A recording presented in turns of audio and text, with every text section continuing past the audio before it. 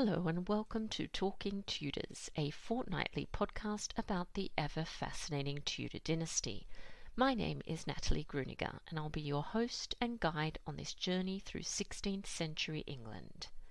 Are you ready to step through the veil of time into the dazzling and dangerous world of the Tudor court? Without further ado, it's time to talk Tudors.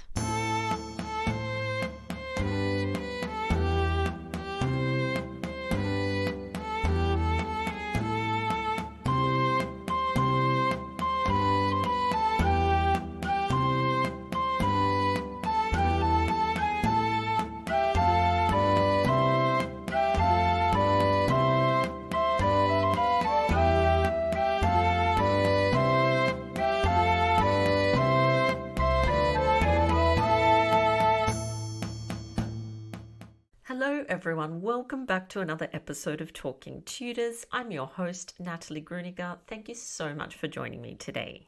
I'd like to start by thanking the sponsor of today's episode, Sandra Byrd, author of the Tudor Ladies in Waiting series. A rich alchemy of fact and fiction, these critically acclaimed books chronicle the glittering court lives of three queens and their closest friends and companions.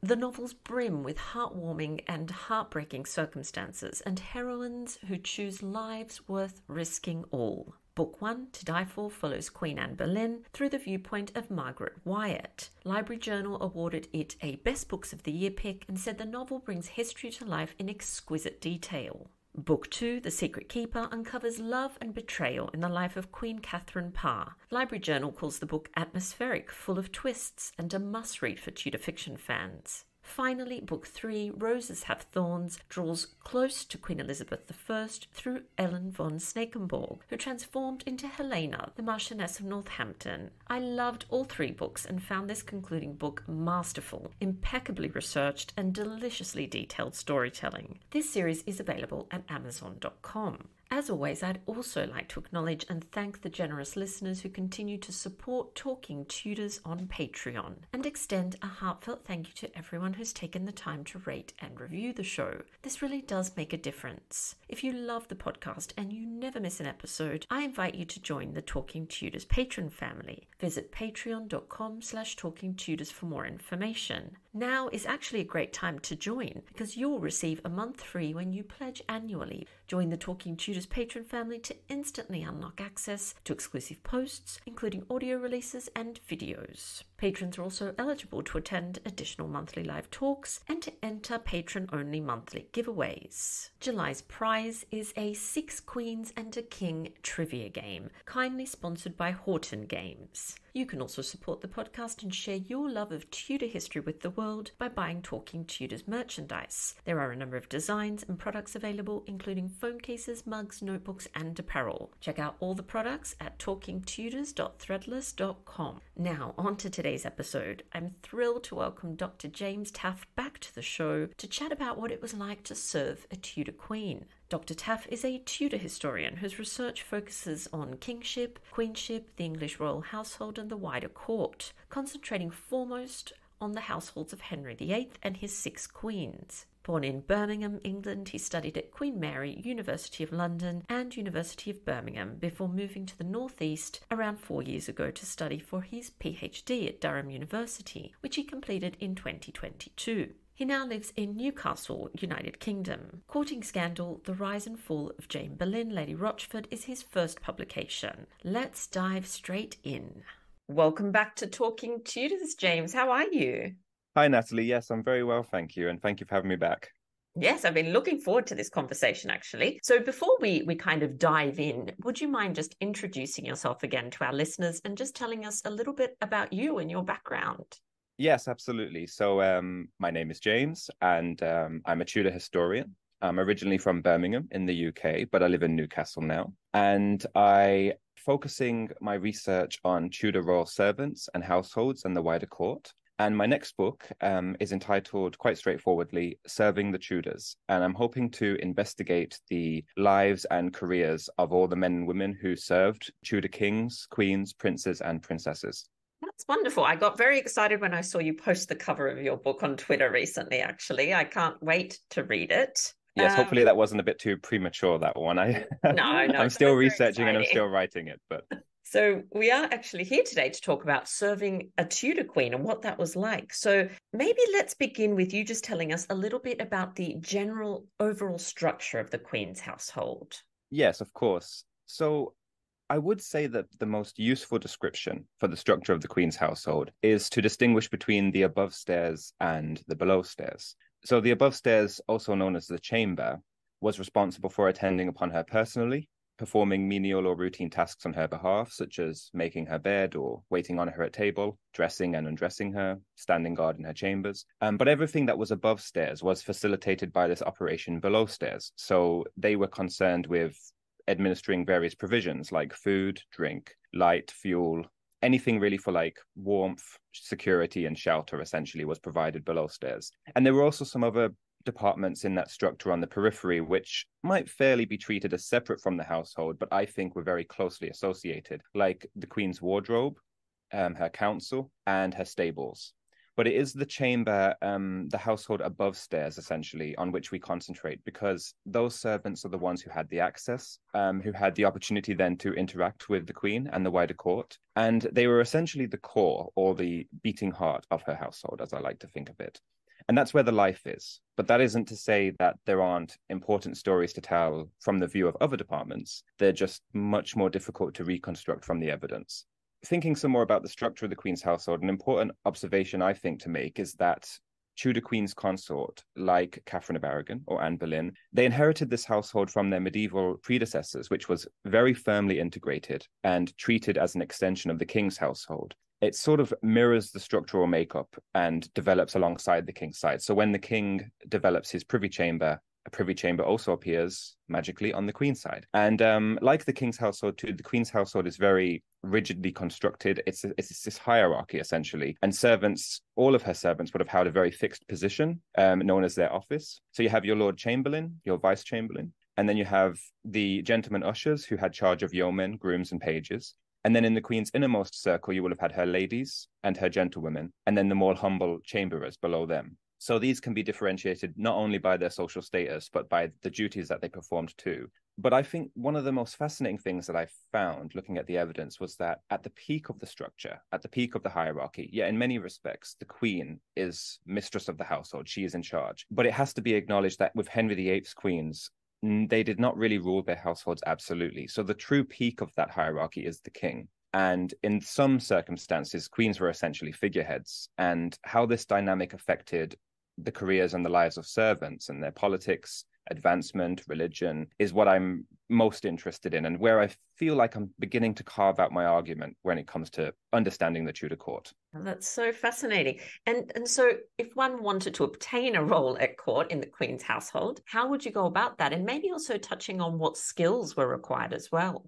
Oh, yes, absolutely. This question, I have to be honest, comes up a lot. And it was one that I was very preoccupied with in the early days of research. What it was perhaps most striking to me, or maybe surprising, is that there are very few qualifications or prerequisites for serving in the household of a queen.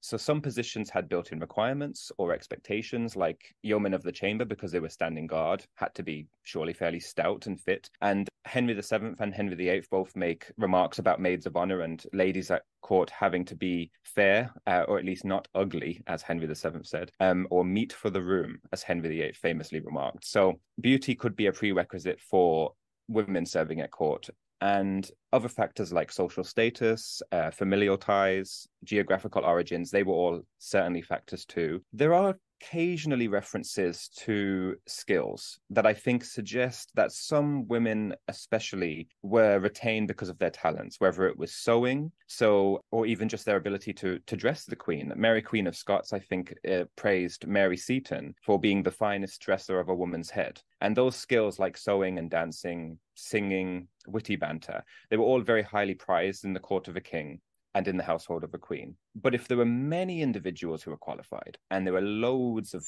very, very talented uh, noble women and genteel women, and positions in the household were so highly coveted, who gets the position? And I think that's when it comes down to who did you know at court? Who is in charge of appointments? And that's another question itself. That's not so straightforward. Who actually held the power and the authority to actually grant these positions? And how was their choice determined? Were they were they influenced by skills, or was it more your family has served us before, so let's keep with the tradition? And the evidence is really inconsistent, to be honest. But I think with the Queen's household, I've sort of landed on this idea that Queens certainly had agency in uh, choosing who they wanted to serve them. And that is most reflected in the fact that petitioners did solicit queens directly and they did also solicit her servants so that they tried to get into the household that way my go-to example would be the letter that catherine howard henry viii's fifth wife receives from joan beaumont an old acquaintance with whom she'd served uh, agnes tilney the dowager duchess of norfolk so joan begins the letter by sort of stressing that she's in the most misery of the world and living a most wretched life, as she calls it. Um, and then she gets to the point. She sort of urges Catherine to remember this love that she had always borne the Queen. And she says something along the lines of, I beseech you to stay some room for me. And room being office or position at court, and that you shall think best for yourself for the nearer I were to you, the gladder I would be. And I think it's clear enough here that Joan knew Catherine had the power to bring her to court. And I like to stay with Catherine here and say that when she was later arrested and commit, um, arrested on suspicion of committing adultery, the fact that she was held personally responsible for appointing Francis Derham and Catherine Tilney would be used against her to secure her conviction. Admittedly, that evidence is slightly less st- straightforward to use, but I think those on balance, the, uh, this kind of evidence shows that Queens did have power and they could appoint servants when they wanted to. But we have to be cautious because Catherine Howard was able to surround herself with these companions, but her predecessor, Anne of Cleves, does not appear to have been granted nearly the same courtesy. So, more often, the evidence might suggest that it was the king who held ultimate authority over appointments, and queens might then require his consent, as we see when Catherine Parr writes to him while he's at war with France, casually asking if she can have certain ladies accepted into her chamber. And although Henry concedes and says it's up to her own choice, he does have an opinion on it, and he does care about who is staffing his queen's the queen's side of the court. Um, so what all this meant for how you could obtain a position essentially is that men and women who aspired to service they had more than one channel through which to petition. It was who they knew and whose ear they could bend, who at court they could flatter and bribe, you know, and whether they could actually make a claim to office, whether it's with the queen, the king, their counselors or their attendants to speak on their behalf. So interesting. Another example jumps to mind, which I think was Lady Lisle in Calais trying to get a position for one or both of her daughters. I can't remember in Jane Seymour's household, and that took a very long time. It was sort of back and forth communications with her agent in London and with, I think, um, one of the Queen's ladies as well, trying to get in there. So, yeah, it might tricky at times, I think. Yes, absolutely. That example is, is just excellent. It really, if it were not for the Lisle letters, we would know not ha- half as much as we know about the Queen's household, and especially that jockeying for position and trying to get someone appointed. The, the letters really do make it very clear that it wasn't so straightforward as here's a daughter of mine and she's she qualifies. You know, they really had to aggressively pursue and court the Queen to get to get into the household. Very true. And for any of our listeners, if you haven't had a look at the Lisle letters, please do. They are absolutely fabulous. There's a sort of summary version that you can get to have a little taste of it. But if you're like me, you buy all the volumes, so you've got every single every single letter. So you mentioned before, James, that even within the household, there's a there's a hierarchy. So maybe you could talk to us a little bit about the difference between, for example, ladies of the Privy Chamber and then maids of honor, and and maybe go a little bit more into what the duties actually involved in those positions? Of course, yes. So these titles, which were and still are used today to distinguish between women at court, like ladies and gentlewomen of the Privy Chamber, or maids of honor, or chamberers, these are all what were known to the Tudors as offices. And essentially, that was the rank or position that was held by a servant. What duties and functions the Queen's servants performed, and what position they held in this sort of institutional chain of command. But not just that, but also how much they were paid, where and what they ate, how many horses they were allowed to stable, how many beds they were allowed for their own servants, and what kind of perks they got for the job. Even what they wore, all of this was determined by what position they held, their office essentially. This was their position as it was formally defined. And because the Queen's household was headed by the wife of the sovereign, a woman, many of her servants had to be women. But household ordinances, which essentially describe the state of the household and how it should be. There's no contemporary description in those ordinances of what a lady of the Privy Chamber or a maid of honor actually did. even when Mary I or Elizabeth I were on the throne as queen's regnant, no further distinction was made or even felt necessary between the male servants who had served the king and the female counterparts who would now serve the queen. So the fact that these servants were on the queen's side and the fact that they were women was in many ways inconsequential because although the offices had been developed and defined for men and by men, very few ad- adaptations were required to accommodate women in those positions. So it's my theory that to identify the tasks and functions of women, we essentially just have to look at the offices who are those offices in the king's household, which are absent from the queen's side. So which essentially, and it's no coincidence, were the most intimate of the king's servants, because the most intimate of the queen's servants then had to be changed out for women. So the um, ladies and gentlemen of the privy chamber were responsible for the queen's more sort of everyday service when she retreated and relaxed in private. They were like the gentlemen of the privy chamber in the sense that they would dress and undress the queen, wash and bathe her, presumably as well styling her hair and applying her makeup, and waiting on her personally when no one else at court was allowed to even presume to go anywhere near her or touch her. Chamberers were essentially the female equivalent of grooms of the Privy Chamber, in that they were responsible for the more menial and routine tasks of cleaning and maintaining the Queen's chambers, arranging her clothes and jewels and bed linen, and uh, fetching sort of all manner of things on, on her behalf. And then outside of the Privy Chamber, there were ladies in presence, also known as great ladies, and maids of honor, who attended upon the Queen more often in the presence chamber when she dined, and especially when she was entertaining visitors to court, like ambassadors or dignitaries. So, maids of honor also have the distinction of being thought to have been quite fit companions for a queen, especially a younger queen, and they accompanied her often when she left the chambers and you know carried her train behind her. It's, it's maids of honor who we most often see dramatized in serials and things like that. And the young girls had to be supervised because they were young and they were chaperoned by someone known as the mother of the maids who essentially ensured that they always behaved in a in a sort of sober and virtuous manner.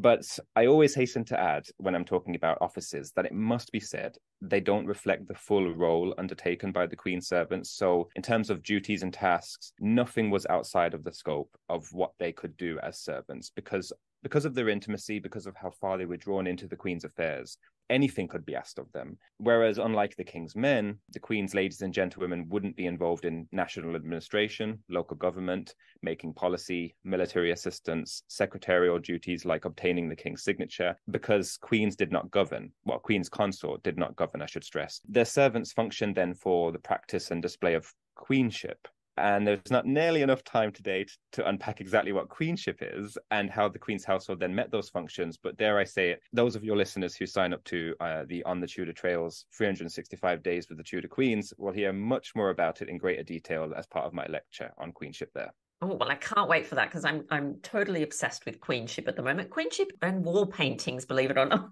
that's my current. Um, that's, that's, quite the combination. yes, exactly. So you mentioned there while you were talking payments and perks. So, in terms of compensation for these women serving the Queen, is it more just about, you know, you've got the Queen's ear, you can have rewards, that kind of thing, or are you getting monetary compensation?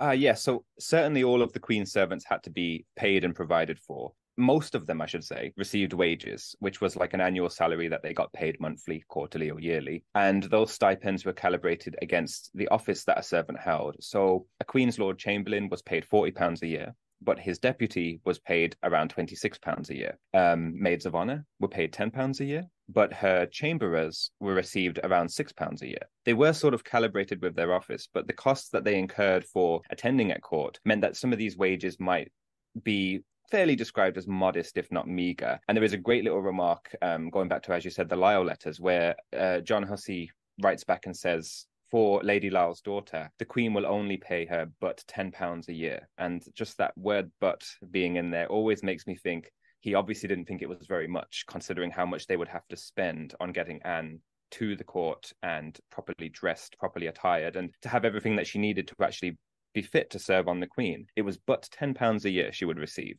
but they did receive some other benefits too. So the Queen's servants received um, expensive materials to make up their own livery, which was the clothing that they wore as to mark them publicly as servants. Um, many of them were given their own lodgings in royal palaces, and they were entitled to stabling and beds for their servants. The right to retrieve rations of food and drink bread, ale, and wine, fuel and candles, and things like that. Uh, some attendants received tips or fees, which were like non monetary perquisites of the job. Ladies and gentlewomen more often received clothing in that respect. So any clothes that they might have wore as part of a mask or a pageant, they were generally eh, allowed to keep. Overall, I think mostly what attracted people to royal service was not wages. It was more like the potential for advancement. And this all came from being intimate with the crown and to knowing the king or the queen personally. And although there is a lot of scholarship on the politics of intimacy for the king's side of the court, I don't feel like there is nearly as much or as there should be on the queen's side in terms of how her women might have received royal patronage or won favor at court. And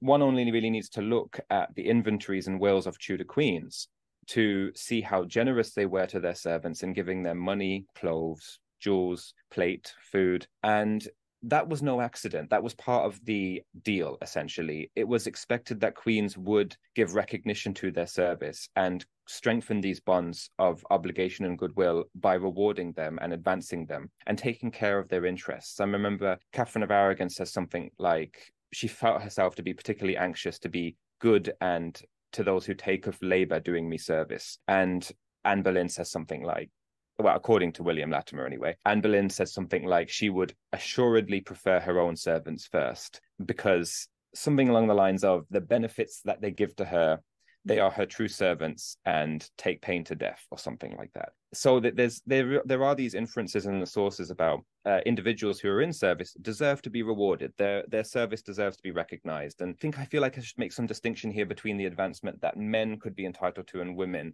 There are positions and like um, titles honors lands leases licenses that generally went to men before they went to women. And so a great example of this is that there is a document that survives um, it was drawn up in preparation for when Catherine of Aragon's estate was to be handed over to Anne Boleyn, and it was addressing all of Catherine of Aragon's attendants who held positions in her estate, whether it's as a steward or a bailiff or a receiver or a keeper or a constable. And there's around 30 of those recipients who can be identified as people who served her in her household, but only one of them's a woman. And it was Margaret, Lady Grey, who receives something in the range of nine pounds as keeper of uh, Litley and Donmore parks, and it's it's very rare that we come across women who held those kinds of positions, and those were the kind of positions which people love to hold because it just if you could hold several of them at once and accrue a very substantial income from that. That's really interesting. I actually didn't know that a woman could hold that position. So that that's fascinating. I know the document you're talking about, but I'll have to look back at that. so something that just popped into my head, I don't know if you you can answer this off the top of your head, but in your research, have you found that couples generally serve together? So like husband in the king's household and wife in the queen's household. Was that quite common?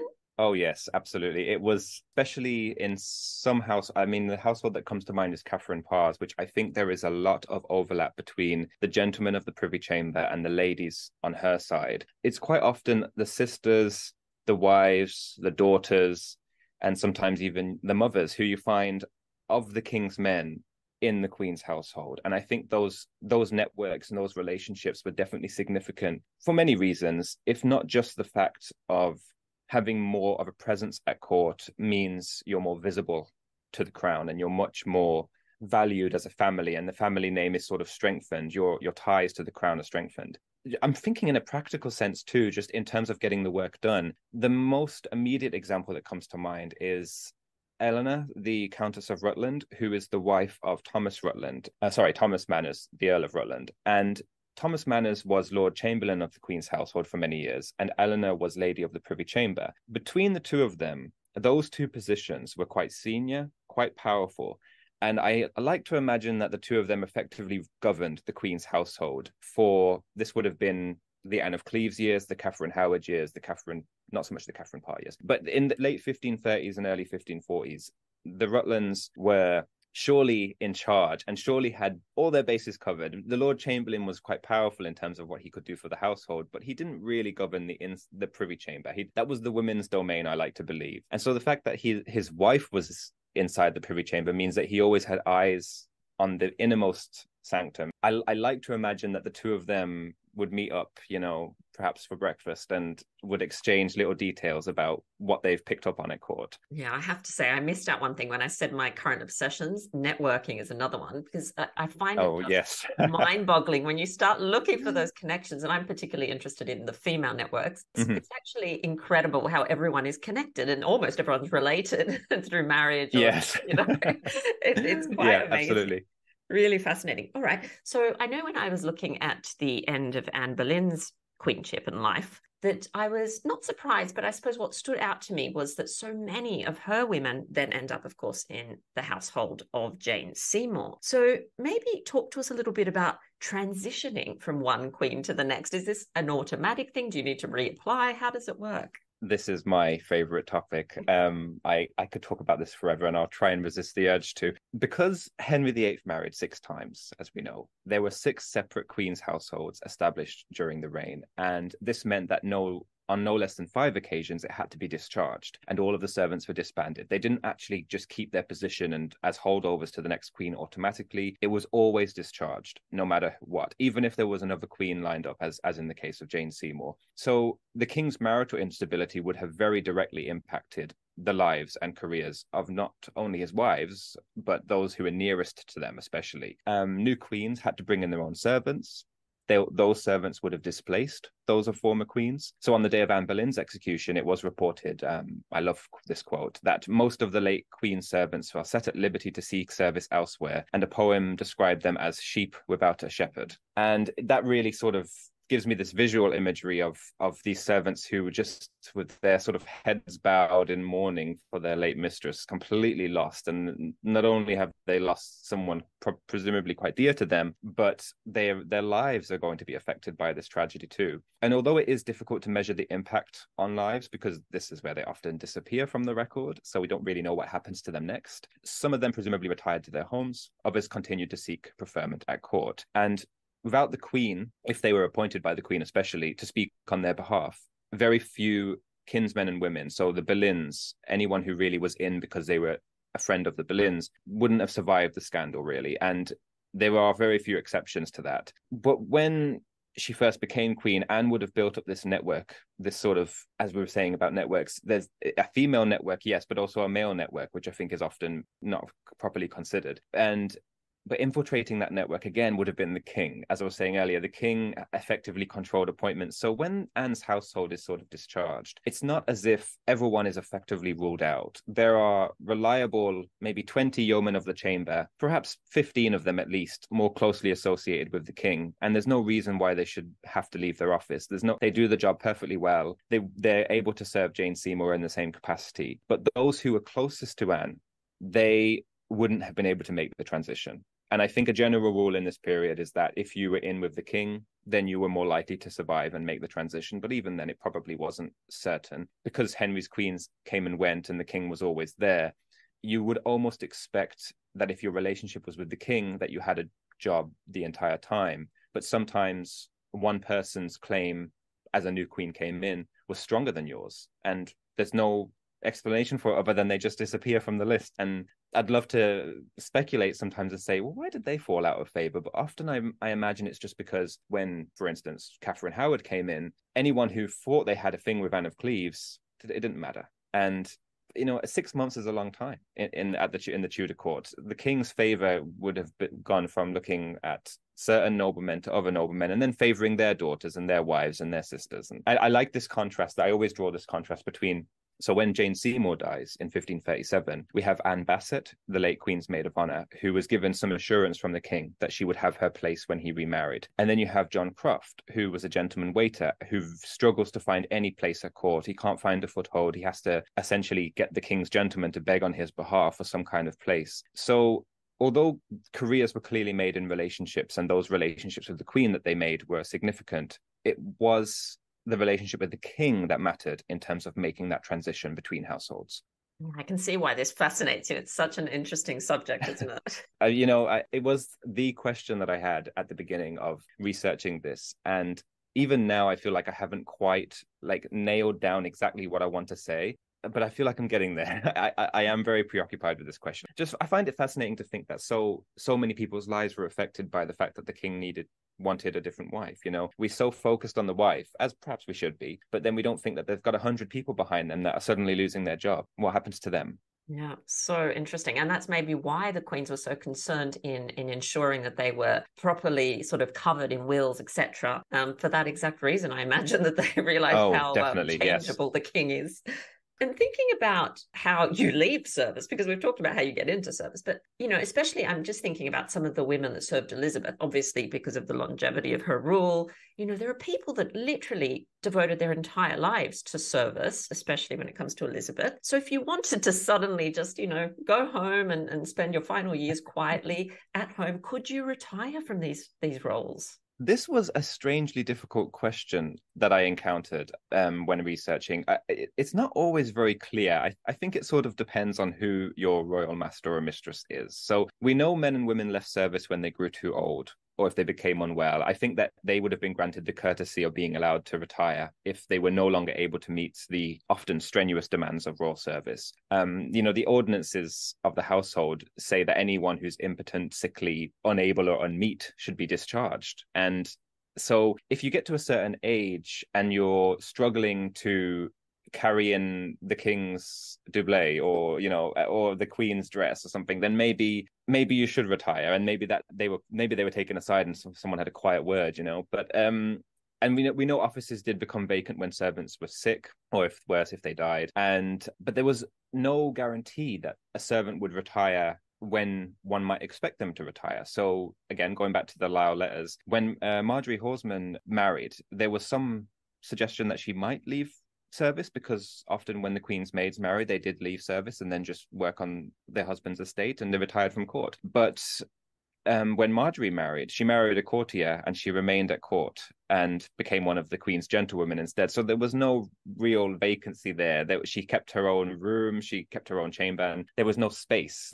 And so it, it probably varied. It is important to think as well that some people were forced into retirement. So my one of my favorite examples of this is Catherine of Aragon's gentlewoman Francisca. I'm I'm going to butcher her name now, but I think it's Francisca de Caceres. Caceres.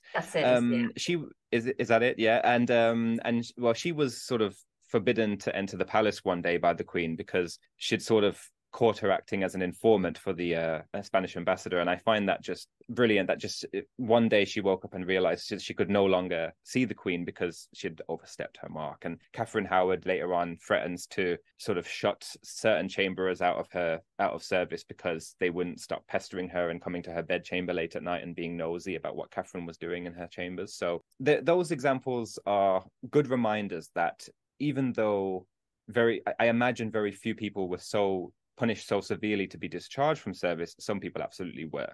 And I think that that's important to remember. But going back to your question about retirement, funnily enough, Elizabeth, she's probably the best case study for this. I can't think of an, a very obvious contemporary example in terms of Henry VIII's queens for retirement, but there is that great example about Sir Francis Knollys, who, when he was stationed at Bolton Castle as a custodian for Mary, Queen of Scots, he wrote to Elizabeth to request leave for his wife, Catherine, uh, Lady Knollys, so that she might accompany him. And in writing to Elizabeth, the Queen, Francis urged that his wife was unwell, that he, he thought that she required moderate travel and quietness of mind away from court. But Elizabeth outright refuses his request, saying, you know, she sort of excuses it and says that Catherine's journey up north might be to her danger. But actually, I, I read that as Elizabeth did, just did not want to give Catherine up. She did not want her to leave court. And then unfortunately Catherine dies without even being able to see her husband. And it's such a tragic story. But that when you talk about retirement, that's what always comes to mind. Catherine probably should have been allowed to retire if she was so unwell. You know, why why did Elizabeth insist on her remaining at court? And I think that probably many servants felt an overwhelming pressure to please their royal master or mistress. And in many ways, I can imagine that became quite a strain, especially if you just about had enough and they wouldn't let you go. Yes, I can imagine that it must have been very intimidating approaching Elizabeth to request any sort of leave. Oh or... my, yes. Oh goodness. Absolutely. All right. Well, maybe just to start wrapping the conversation up, could you tell us a little bit about a few of the women that you've researched uh, who did serve Tudor Queens? You've obviously mentioned some already in the course of the, the conversation, but maybe some others. Sure, yes. I mean, unfortunately, what I found with the Queen servants is that the surviving source material being so fragmentary and the evidence not really being continuous or consistent, it's very difficult to reconstruct much more of a career of a lady in waiting than in a moment in time. So usually the reason they're in the evidence is because they're making their mark on history and perhaps acting beyond the role to which they were formerly circumscribed. And they caught the attention of an ambassador or a counselor and that person scribbled down what they'd done. And that's usually when we get a better idea of who that person is, but it's very difficult to make much on one inference. So I think I mentioned Marjorie Horsman earlier on, and she always comes to mind when studying Anne Boleyn and especially the fall of Anne Boleyn, because if we trust Cromwell's words, we are left with the impression that Anne's ladies and gentlewomen really did not hesitate to turn against her in 1536. But a very brief reference in a surviving letter by Sir Edward Baynton, who was Vice Chamberlain of the Queen's household, suggests that Marjorie in particular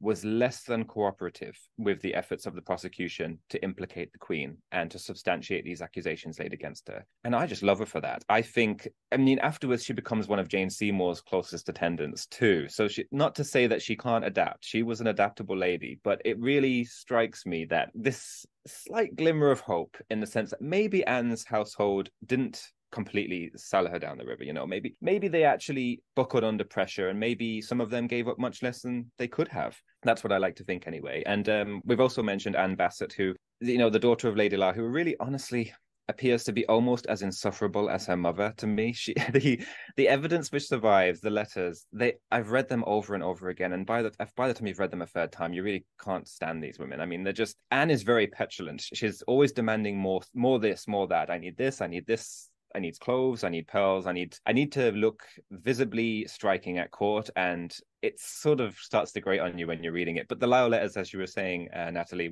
are extraordinary, and they do place Anne as a central character in the story of the Queen side of the court. And I think that, especially in those later years, the 1530s and 1540s, where we we sort of lose central characters with when we lose Anne Boleyn and when we lose Catherine of Aragon, we lose the central women at court. Anne Bassett then emerges as she not only has the Lisle letters, but she also catches the king's attention too and becomes something of an influence at court during those years. And of course, we mentioned um, the Countess of Rutland, Eleanor, and again, I, I I would love to do more work on the power of couples at court and to look more at those relationships between men on the king's side and women on the other side because that has to be there has to be something there. Whether the evidence will give it to us, I don't know some other ladies i mean like honestly as you can probably tell i could probably roll these off for hours and hours and hours i'll, I'll, conclude with two more which i I really do like to name check. Um, Elizabeth Stafford, the Duchess of Norfolk, and Maria de Salinas, uh, Lady Willoughby, both served Catherine of Aragon for more than 20 or 30 years, respectively. Their undying loyalty to their mistress is so compelling